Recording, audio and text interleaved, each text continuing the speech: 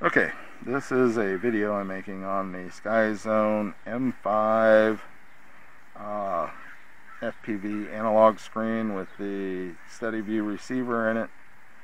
And uh, anyhow, I did make another video having problems. I want to clarify, or I want to go over the fixes for those and uh, then do a uh, short review. The first problem is the SD card.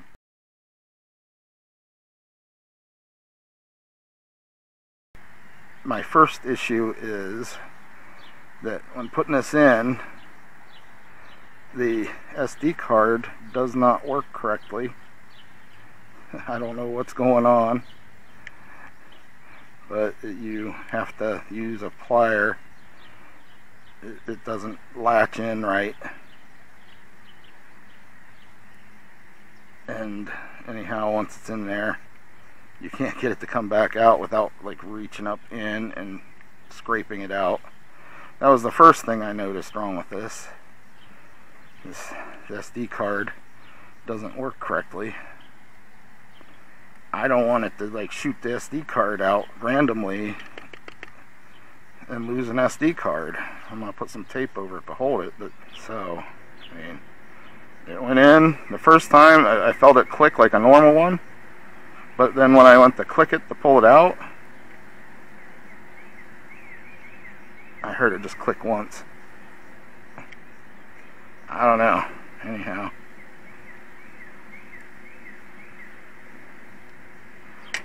That was brand new SD card, never been put in anything else other than this thing. You can see it's already chewed up from it.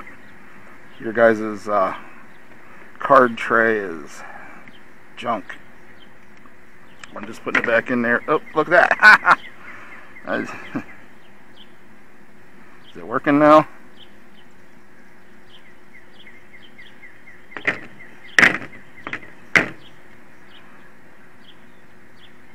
No. See, that's what I was saying. I don't want to just randomly shoot out of there and lose the damn thing. So if the other ones are like this, but I think I need a new monitor because this one don't work. I don't know. The SD card, as you can see, I have cut this out. The you can see that the divot is slightly farther over.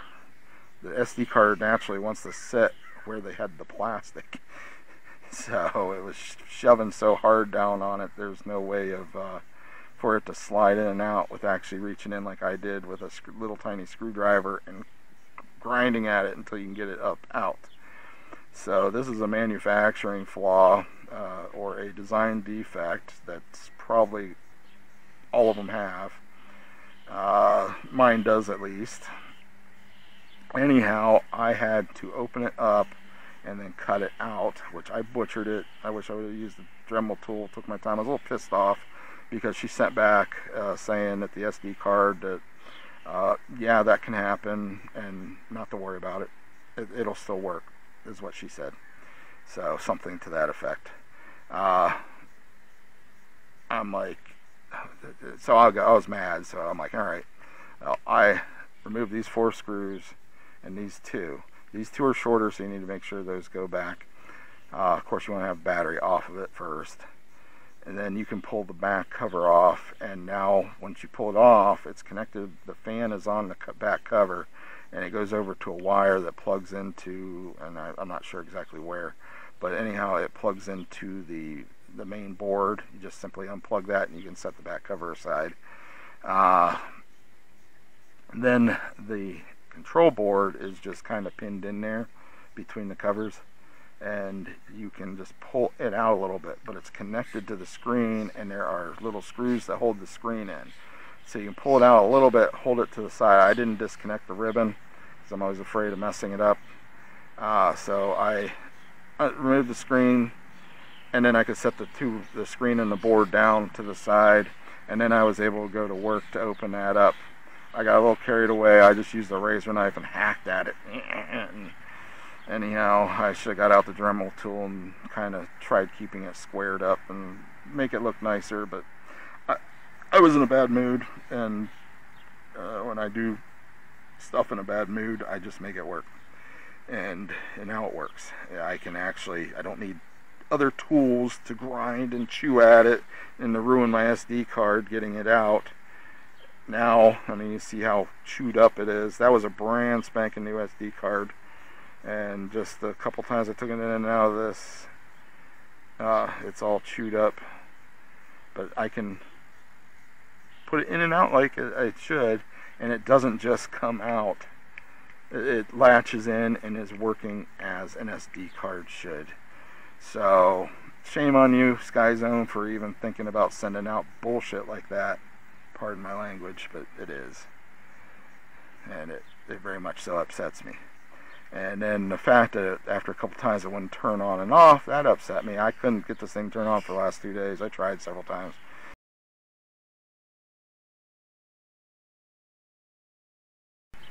if I push the button, the fan, I don't know if you can hear it, the fan is running right now. It runs for about three seconds. Screen don't come on. Now, I think you had to push and hold it, so. Alright, fan just stopped. I'm going to push and hold it.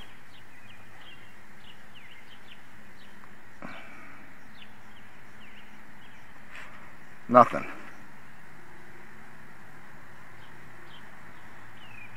The fan's running, I can feel it.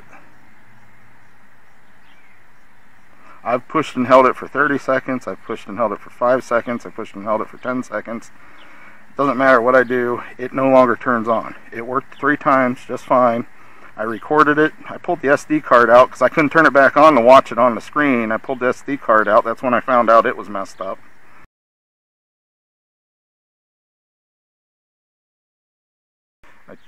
anyhow, she said on that note is because I'm using 18650 or you have to put an 18650 in at first plug it in and uh, uh, into the charge and then it should work okay I plugged it in the USB the little red light came on like it was charging now my battery was not uh, totally charged up but it was mostly charged up it still wouldn't turn on.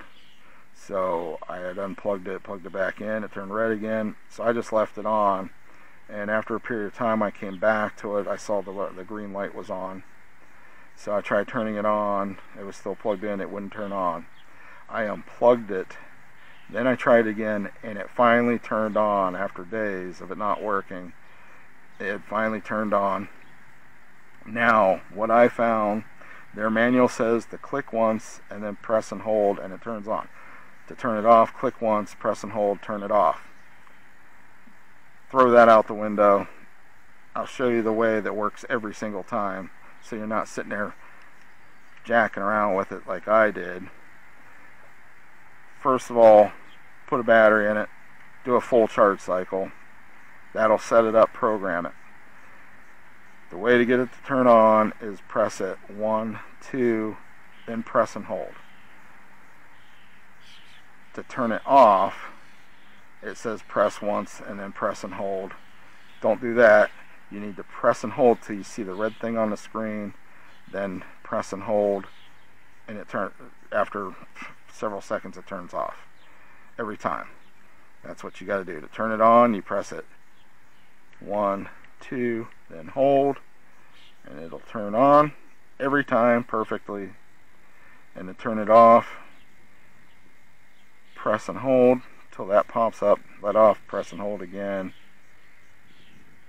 and then it'll shut off. Their instructions are incorrect. Another failure by SkyZone. Uh, man, I tell you, my old uh, Cobra X goggles, I had to melt the face of them so that the wasn't cutting into my cheeks so bad. Uh, why they can't make stuff properly, I don't know. But uh, I'm sure it probably fit somebody's face, but definitely didn't mine. It was two big long plastic things. Either cut cut them off all the way, but then the face gasket would be hanging down, or I heated the, that bottom edge and then bent it curved it outwards away so it didn't have that sharp edge digging into my cheeks. And uh, then a face mask would go right around it. Now I had to replace the Velcro and everything after that to, to put the face mask back on, but it made those more comfortable. But I passed on for from those goggles like two years ago already. I didn't only have them for a couple months. I just am not a big fan of a, a mixer uh, style. I use the diversity anyways, and I got a good deal on some HDO2s. Okay, so as for my review for this, it's a decent screen. I mean, once you tear it apart, like like you know, every Sky Zone product, you gotta fix them first or something to make them work for you. But once you take it apart and you open that up so that the SD card comes in and out as it should, uh, and then you fix the power issue by power cycling it, and then uh, learn how to actually turn it on and off, not with their bullshit instructions that don't work properly. Once you figure all that out, it seems to be working pretty flawlessly. I bought it because I needed, I need, I want a better DVR uh, that records better DVR, where it's not all edges of stuff are miscolored. I want it to look like what's in my screens on my goggles or on this screen. What's on this screen looks absolutely gorgeous. What is recorded on this looks like garbage. It's all blocky and pixelated and it's like and I have tried different SD cards. This is a U3, A1 or whatever. Anyhow, I I use these in a GoPro and they work perfectly fine. Uh, I use it in my 360 camera and they, they work perfectly fine. I also have the one that is, uh, it not only says U3, but I think it says A2 or something, the newer one. And I tried that, that's out of my good camera. Uh, it's the fastest one you can buy, SanDisk. And uh, I tried it in here, it didn't make no difference. So that, this file's not that big, doesn't need that good of a card. Uh, I would not have bought this piece of shit if I had known that HDZero was coming out with a one that kind of works similarly but has an actual HDMI output so you can plug an HDMI capture card in and actually get good analog footage without all the distortions. It, that will actually record the screen what is on the screen and what the screen looks like whereas this does not. And that's why I bought this because uh, I, I, saw a couple reviews and they were showing footage but it wasn't the same footage. There's no way. Uh, they were fake reviewers as usual. Uh, now I bought this with my own pocket. I have no affiliations with anybody I just do this hobby for fun and apparently like getting pissed off about garbage like this. Uh, I don't know. Uh, it just upsets me when you have so many issues with something like this. And then she's like, oh, it's, it's fine. It, will still record. no. Uh, that's, that's BS.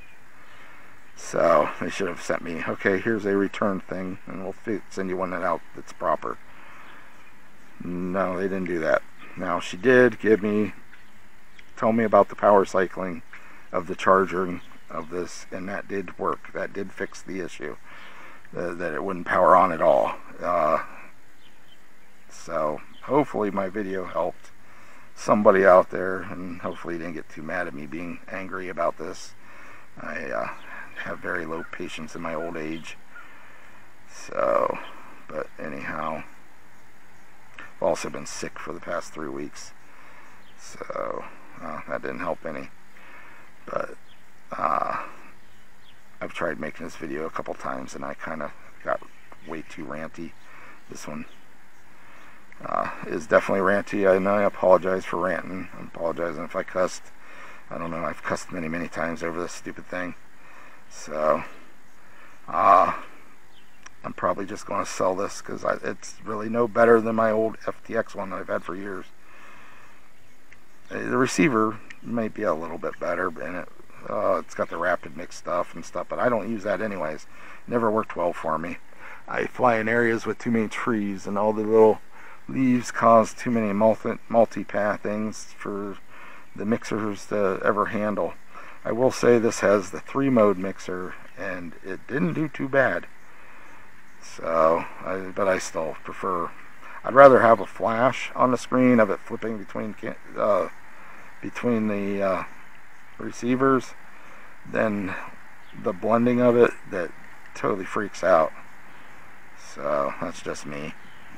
Uh, I mean, I have analog, but I still like, uh, or I have HD.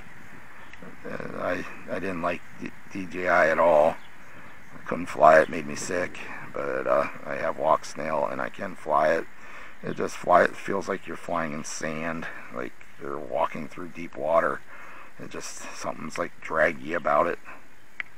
So yeah, this thing's all chewed up trying to get that thing out.